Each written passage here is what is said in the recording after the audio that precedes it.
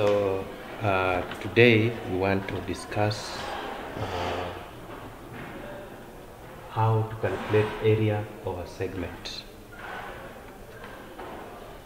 By definition, a segment is an area bound by an arc, which in this case we are talking about, we're going to talk about arc ABC and a chord AC. So, in general, a segment is a region that is bound by an arc and a chord. Chord is a line joining any two points on the circumference of a circle. So, today we want to find out how the region that has been shaded, the area of the region that has been shaded can be calculated. Now, for us to calculate the area of the region shaded, which is the segment, we must first of all get the area of the sector. Area of the sector. And in this case, it is better for us to define what a sector is. A sector, by definition, is a part of a circle. Part of a circle bounded by bounded by two radii, two radii and an arc. Two radii and an arc.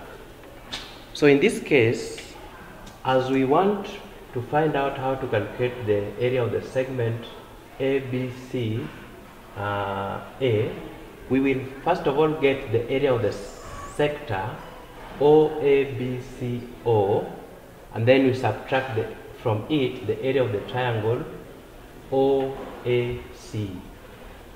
So how do you get the area of a sector? Area of a sector, a sector is calculated by, is obtained by, by the formula, the formula theta over 360 times pi times r squared. That one will give us the area of the sector OABCO. Now, because we have said that we are also going to consider the area of triangle OAC, we also need to find out how the area of a triangle can be obtained.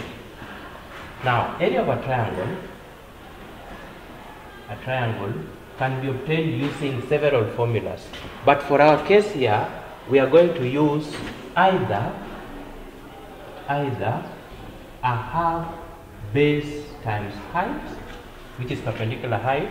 So in that case, when we are talking about a half base times height, we'll consider the chord AC to be the base and height to be uh, this distance that bisect the chord uh, AC into two.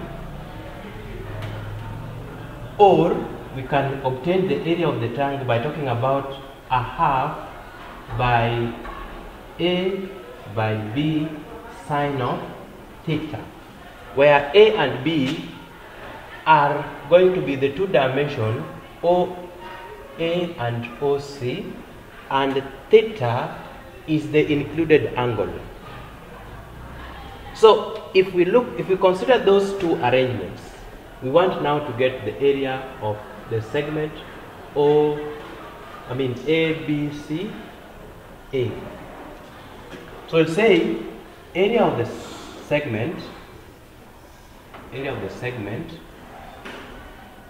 will be equivalent to um, the area of the sector area of sector O A B C O subtract area of triangle O A C. So how do you get the area of uh, sector? O A B C O. Now let's uh, consider the following dimension. Let's consider that theta is equal to 30 degrees and r radius is equal to 7 centimeters. Now, area of the sector OABC therefore will be equivalent to theta, which is 330 degrees, divided by 360 times pi, let's take pi to be 22 out of 7, times r, which is 7 centimeters, times r, which is also 7 centimeters, subtract area of the triangle, which is a half, multiplied by a and b in this case will be the, the 2 radii, and theta will be the included angle. So multiply by 7 by 7 sine of what? 30 degrees.